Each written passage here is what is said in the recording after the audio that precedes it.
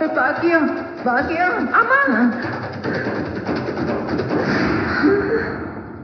என்ன? விட்டா ரெண்டு பேரும் பேசிட்டே போறீங்க? என்ன பார்த்தா உங்களுக்கு எல்லாம் எப்படி தெரியுது?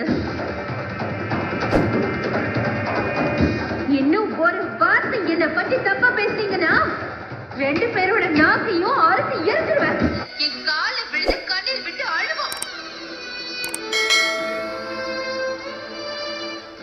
அன்னைக்கு அந்த மன்னிப்பை ஏத்துப்பனா இல்லையான்னு யோசிப்பேனே தவிர உன்னெல்லாம்